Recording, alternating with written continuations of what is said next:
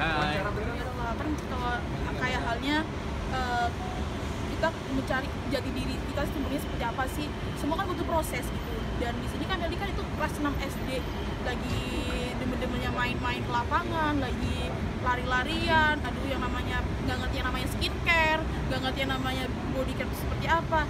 Nah sekarang Deli udah tahu cara merawat seperti apa dan eh, kan kalau misalnya udah udah punya pacar pasti pengen lebih cantik lebih cantik lebih cantik gak ada sih perawatannya cuma sampai saat ini cuma palingan apa ya olahraga urusan karena mungkin dulu gemuk gemuk dan eh, suka main-main panas-panasan aja sih. Apaan sih?